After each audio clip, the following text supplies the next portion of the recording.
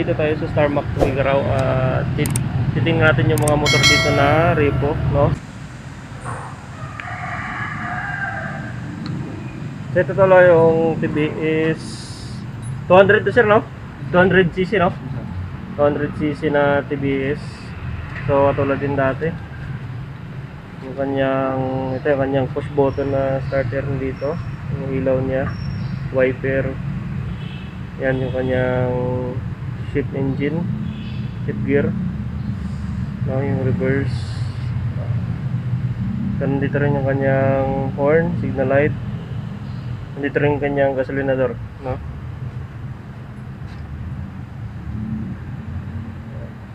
So ito yung dashboard niya sa harap. Dito nalabas yung ano sir no? fuel Yes, sir, yes, sir. indicator. So dito rin yung hazard niya. Dito yung speedometer at odometer so katulad din mga tol yung dati kulay lang nag ano nag-iba. Nandito yung handbrake tsaka yung kanyang ah, brake fluid niya. Din yung kanyang foot brake nandun din. So, meron siyang stock na ano gulong. Ah, dito yung upuan sa ano sa likod.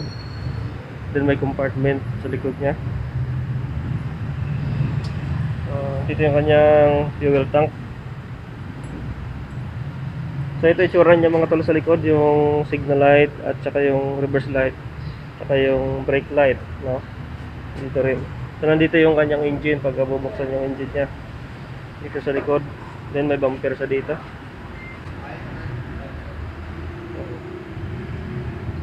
So dito yung lagayan ng plate niya mga tol.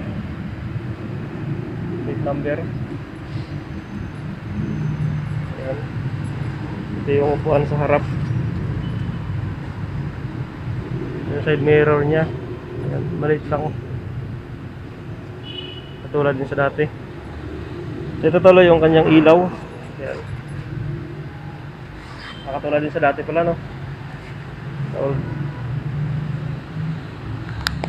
Magkano yun sa price niya sir sa cash? 183 sir. 186? 183. Ah, 183? Yes, sir. Ah, 183 yung cash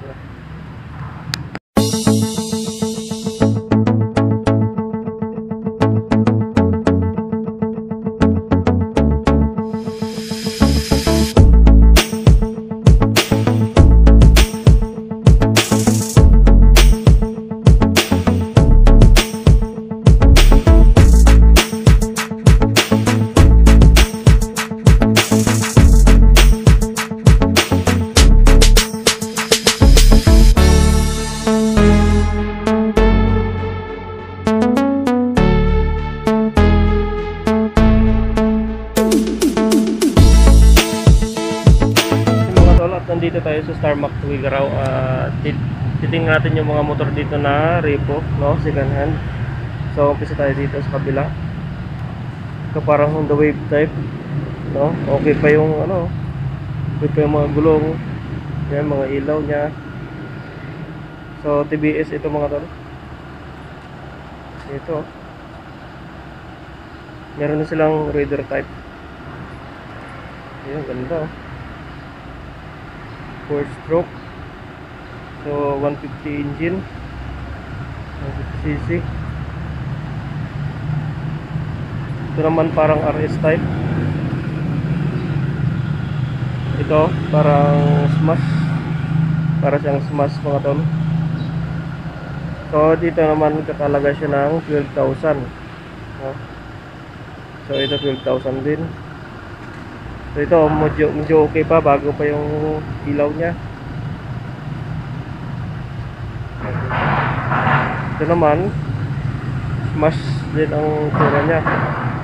Para sa Suzuki Smash. Then ang kanyang price ay 12,000. Ito naman 20. Para siyang Mio. No? So yung makina niya ay hindi ko makita. Siguro 125 ito. Naka-disc brake siya sa harap. Yan. Disc brake. So ang kanyang price ay 20,000. No? TBS ang ano niya, ang brand niya. Dito yan sa Tugigaraw. Ah, Starmac Tugigaraw mga tol.